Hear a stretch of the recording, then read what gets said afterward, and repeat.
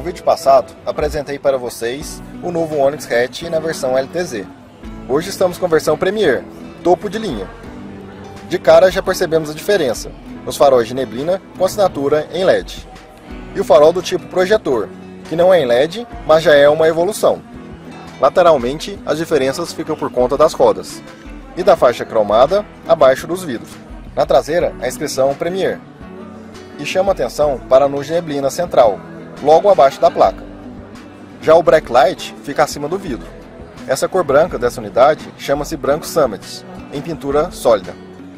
Lateralmente percebemos claramente o quanto o novo Onix ficou maior do que na versão anterior. Realmente passa a impressão mais de um hatch médio do que de um hatch compacto. A abertura das portas é por sensor.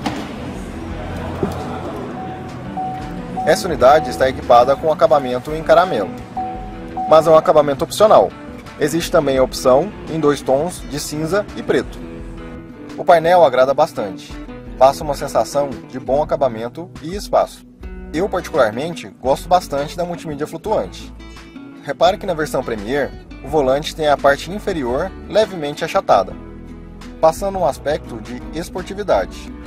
O sistema de multimídia é o mesmo que demonstrei já no Onix Plus, com funções de espelhamento de tela e facilidade de conexão com seu smartphone, seja Android ou iOS, como vamos demonstrar juntamente com a consultora técnica da concessionária.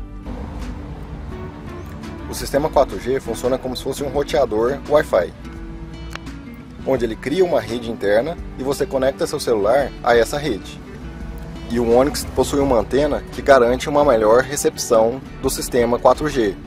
Segundo a Chevrolet, esse sinal chega a ser até 15 vezes mais forte do que se fosse roteado através do seu próprio celular.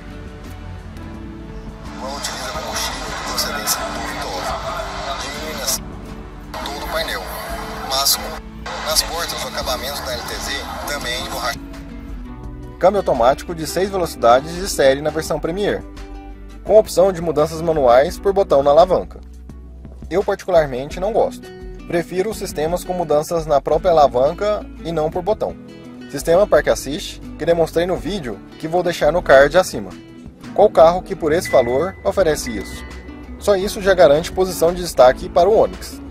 Ar-condicionado digital de apenas uma zona, onde de um lado controla a temperatura e do outro a ventilação,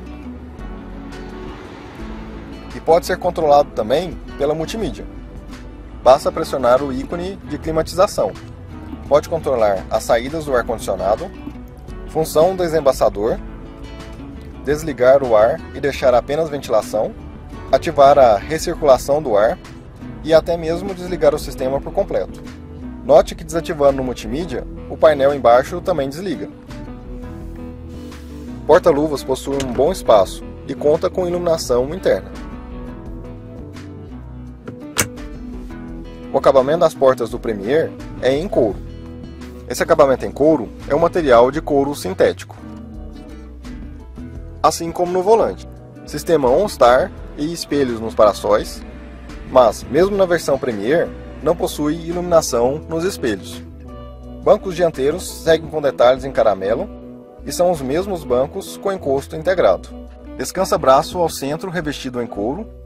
Na parte traseira, o acabamento é todo em preto, não possui detalhes em caramelo. Diferente da versão Premier do Onix Plus, que o acabamento em caramelo também é na traseira. Airbag de cortina e atrás, três encostos de cabeça com regulagem em altura. Além das duas portas USB ao centro. Porta-malas segue o mesmo padrão que demonstrei na versão LTZ. Conta com iluminação e com 275 litros, 5 litros a menos do que a versão anterior, mas ganhou em espaço interno para os passageiros, o que não impacta muito na capacidade de carga. Retrovisores com alerta de pontos cegos, como no seu irmão maior, Onix Plus. Rodas de 16 polegadas. Esse LED não faz a função de DLR.